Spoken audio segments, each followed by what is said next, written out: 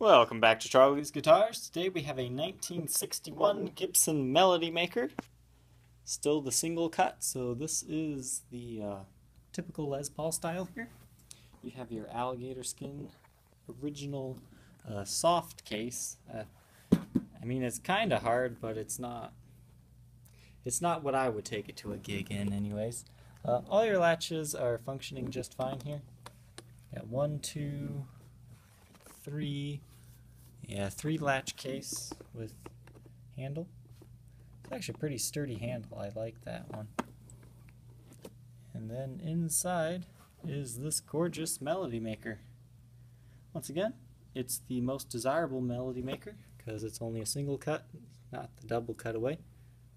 A lot of people like to make a poor man's junior out of these, where you either can put in I think it's Seymour Duncan has a uh, P90 size single coil that fits right in here without any extra routing.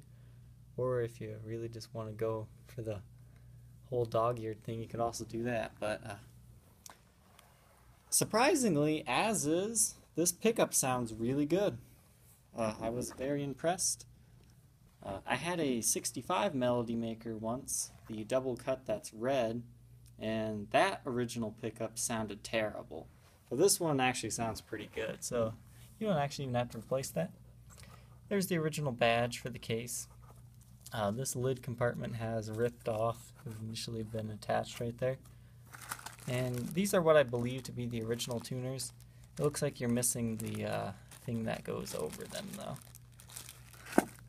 So obviously the tuners have been replaced, but everything else appears to be original on this beauty let's take a quicker look at this guitar here. Once again, 1961 Gibson Melody Maker, single cut in a two-tone sunburst. Look at the headstock here. Uh, this guitar is in vintage condition. It has wear just about everywhere. Uh, so pay attention here. On both sides of the headstock you have some finish missing. That's likely where it was uh, hanging from a hanger. But you have finished checking all over the face of the guitar here. You can see that there. So it has that really nice vintage look to it. Uh, the nut has been replaced. I just glued that one down. There's a little bit of residue there from the glue when it was seeping out once I put tension back on the neck. But it wasn't glued down, so I went ahead and did that when I oiled and cleaned the frets. Awesome dark Brazilian rosewood fretboard here. I once again I just oiled this, so it's looking good. Uh, it might be possible this one was refretted. I'm not 100% sure, because I've actually never had one of these in before. However, these are very, well, in my opinion, pretty tall frets and uh, they have very little to no wear on them. So I can't say for sure if it was a refret. However, in the light here, you can see there's a lot of marks by the frets on the fretboard here. So at the very least, they've been worked on and not necessarily professionally because they left a lot of divots here by the frets. However, that doesn't affect playability. Uh, the actual fret job itself was good. It's very playable.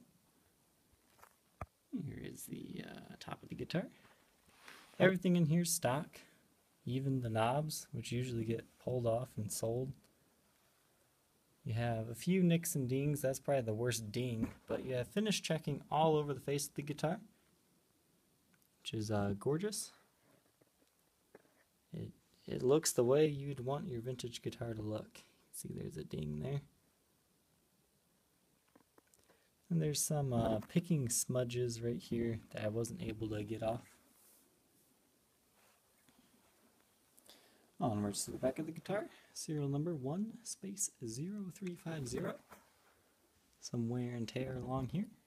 And once again, these are brand new tuners, so they will uh, work very fine for you.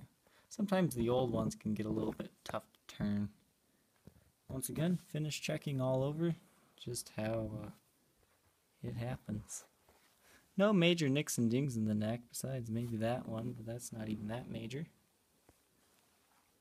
Gorgeous back here. Ah, looks really good. I, I like the uh, mahogany look. But once again, lots of wear and tear. And finish checking all over. So, if you're in the uh, market, instead of like a, I guess this is about the same price as a used standard, why don't you get something that's vintage and try that out. This has been Trogly's Guitars. Thank you for watching, and if you have any questions, please contact me on my Facebook page, facebook.com slash Trogly's, T-R-O-G-L-Y-S. That's where we can discuss my best price available, as well as answer any questions you might have. Thank you for watching, and we'll catch you next time. Bye.